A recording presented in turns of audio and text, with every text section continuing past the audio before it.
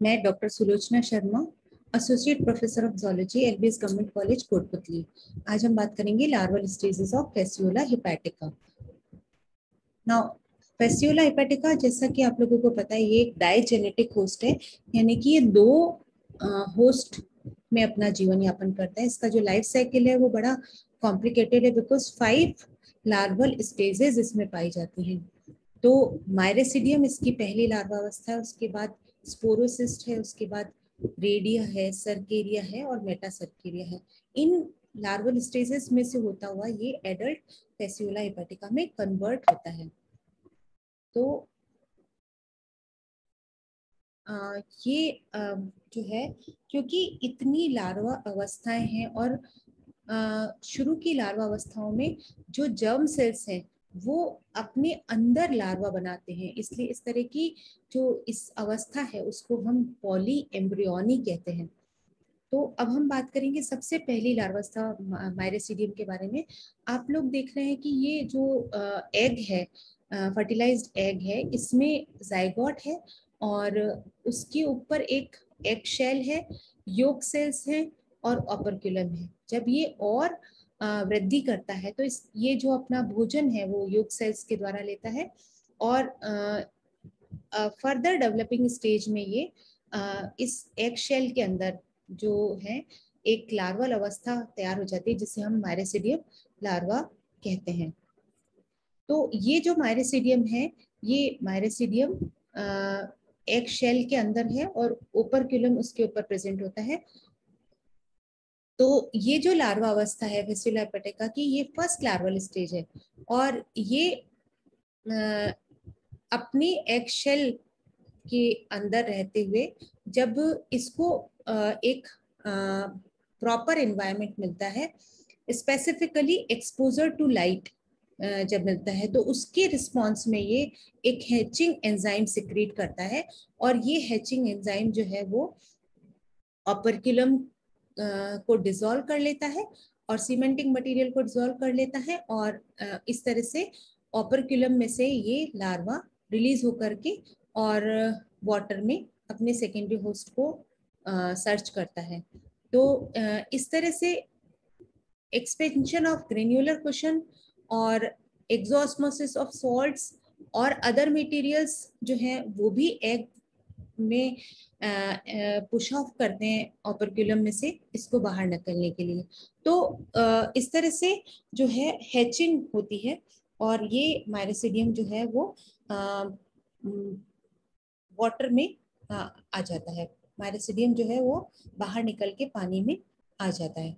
ना मायरोसिडियम की यदि हम बात करें इसकी एक्सटर्नल स्ट्रक्चर की तो ये आ, लंबा ओवल और कोनिकल होता है और इसका ब्रॉड एंटीरियर एंड होता है जिस जो कि एपिकल पेपिला जिसमें ये देख रहे हैं आप एपिकल पेपिला जिसे टेरेब्रेटोरियम भी कहते हैं।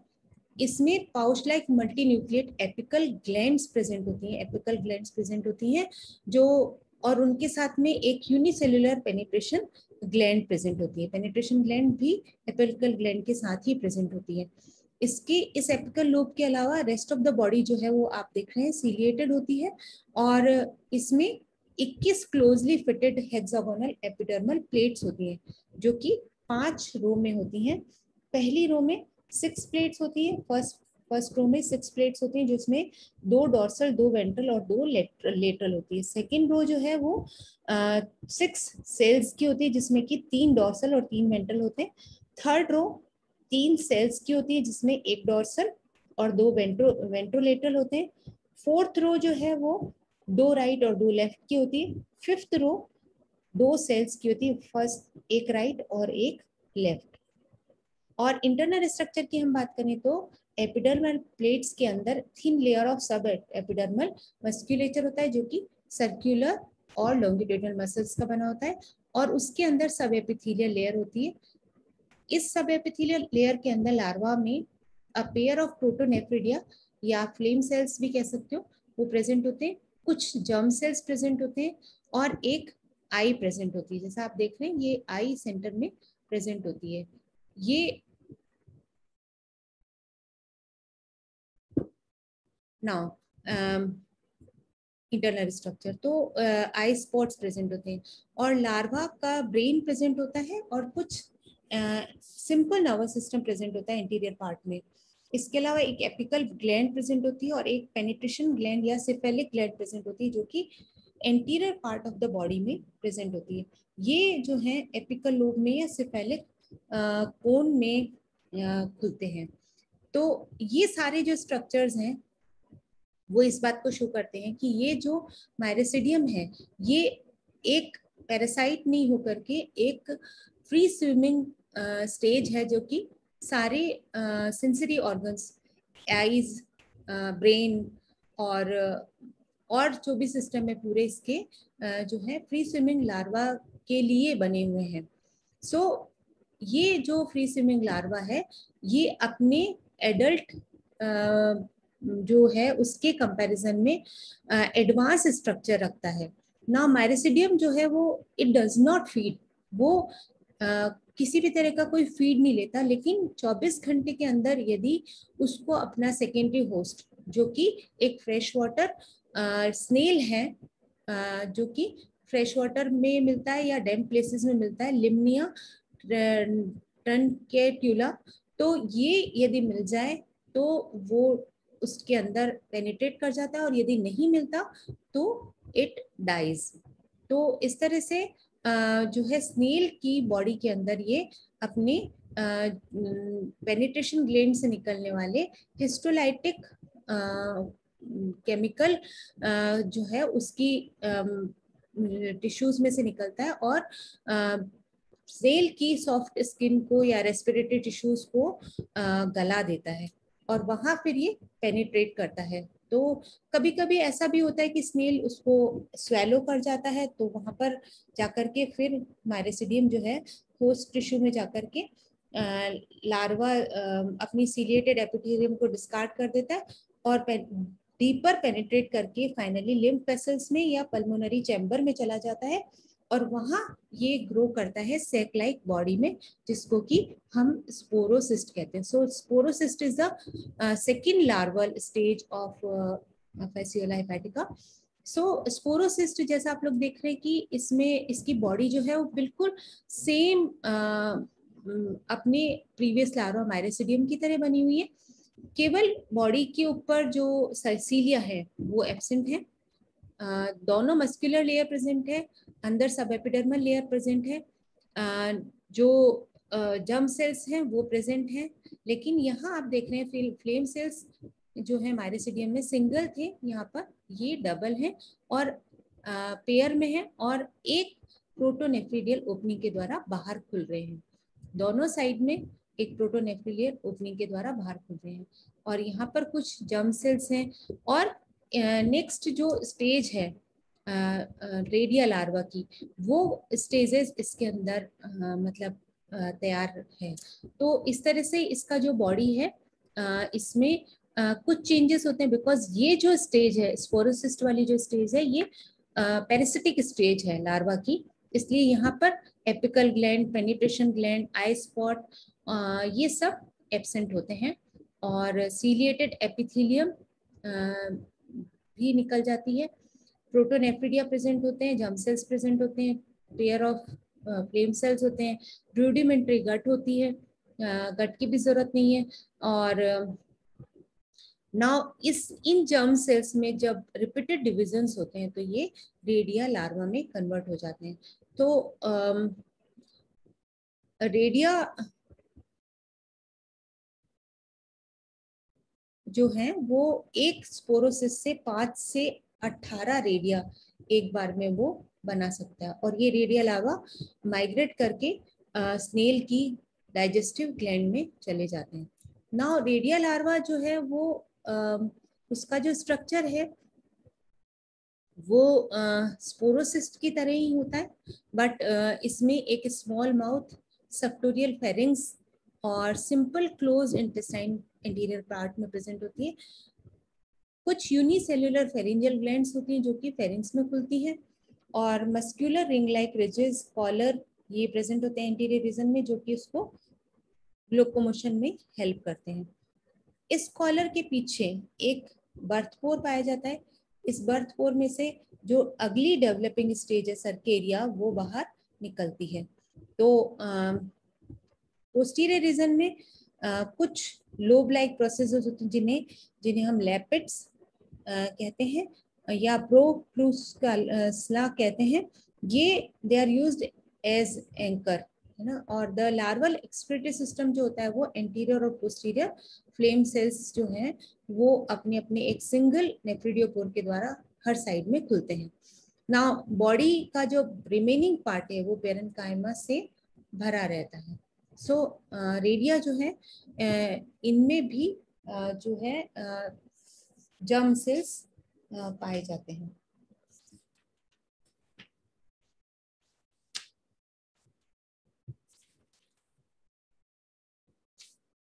नाउ नेक्स्ट इसके अलावा जो प्रोटोनिफ्रिडिया है वो डिवाइड होते हैं और ब्रांच सिस्टम बनाते हैं जिस जो कि एक कॉमन एक्सक्रिटरी डक्ट के द्वारा बाहर खुलती है। रेडिया बहुत ही एक्टिव लिटिल क्रिएचर होते हैं और ये जो है वो अपनी बॉडी और लेपिड्स के कॉन्ट्रेक्शन से बॉडी में मूव करते हैं। और अपने आप को फ्लूड सक करके या सेल्स होस्ट के टिश्यूज के जो सेल्स है वो सक कर करके मस्कुलर फेरिंग्स के द्वारा अपने आप को फ़ीड करते हैं। और यहाँ से ये माइग्रेट करके डाइजेस्टिव ग्लैंड में चले जाते हैं और समर मंथ्स में ये जब फ़ूड सफिशिएंटली अवेलेबल होता है तो जो मदर रेडिया है रेडी है, वो मेच्योर होती है 12 से 18 दिन में। और इसके जो जम बॉल्स हैं, वो अगली जनरेशन यानी डॉटर रेडिया में कन्वर्ट होती है। Germ balls of daughter redia in the winter develop into next larval stage that is cercaria winters में आकर के फिर ये सर्केरिया में डेवलप होते हैं। ना सर्केरिया जो है वो एक फुल्ली डेवलप्ड लार्वा है, जिस, जो कि जिसमें जम सेल्स नहीं पाए जाते, इसलिए इसको एक्चुअली मतलब लार्वा माना जाता है।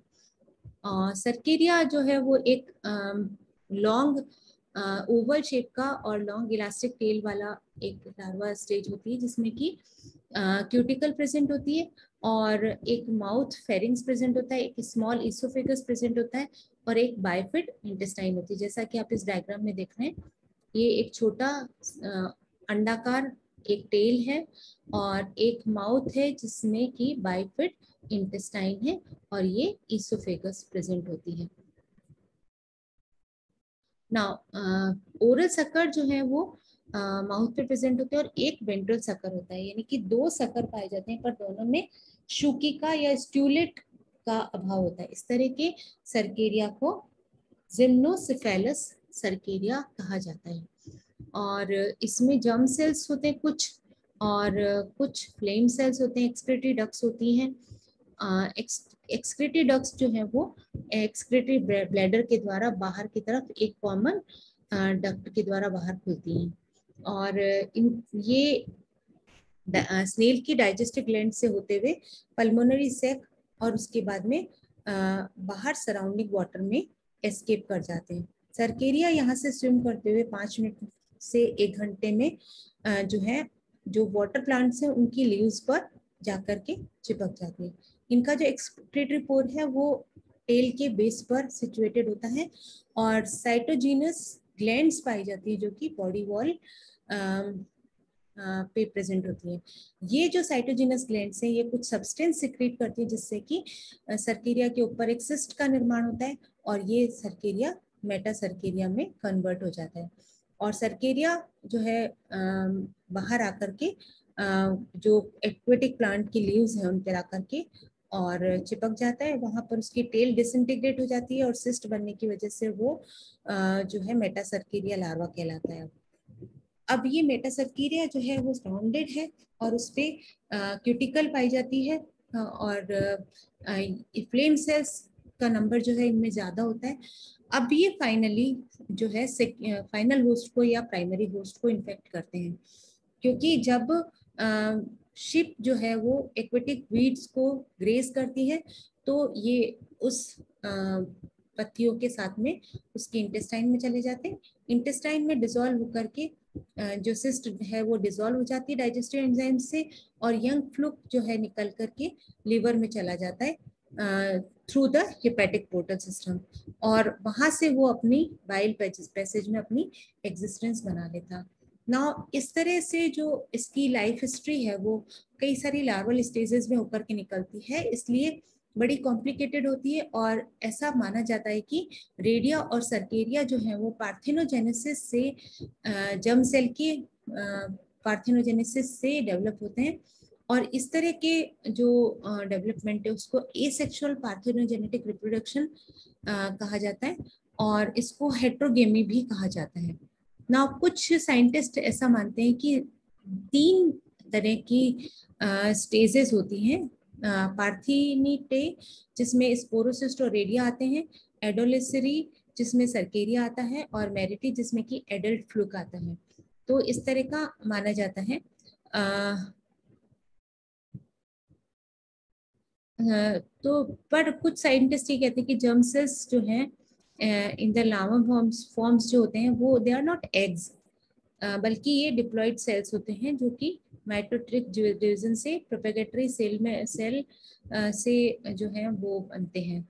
और कुछ साइंटिस्ट का ये मानना है कि ये एक पॉली एम्ब्रियोनी है जिसमें कि स्पोरोसिस्ट या रेडिया जो है वो कई सारे एम्ब्रियो डेवलप करते हैं। लेकिन क्योंकि ये स्टेजेस इंटरवल्स में होती है, इसलिए इस तरह की जो अवस्था है, उसको हम डिलेड पॉली एम्ब्रियोनी कह सकते हैं। ना अब आप देखेंगे कि ये जैसे आ, सारी स्टेजेस इसमें बता रखी है सबसे पहले ये एम्ब्रियोनिक स्टेज है आ, ये वाटर में आ, जो है प्रकाश की उपस्थिति में ये मायरिसिडियम जो है वो हैच करता है ये स्नेल में पेनिट्रेट करता है स्नेल में ये स्पोरोसिस्ट में रेडिया में फिर सर्केरिया में कन्वर्ट हो जाता है वहाँ से ये रिलीज़ होकर के उसके पल्मोनरी सिस्टम से रिलीज़ होकर के ये सर्केरिया जो है वो फ्री स्विमिंग से पत्तियों पर चिपक करके मेटासर्केरिया में कन्वर्ट होता है। वहाँ से ये ग्रेजिंग एनिमल्स के द्वारा खा लिया जाता है और उनकी पेट में चला जाता है और वहाँ ये हिपैटिक पोर्टल सिस्टम से जाकर के लिवर में चला जाता है। इसीलिए इसको हेस्पेसियोला हिपैटिका कहते हैं। So this is all about Thank you so much.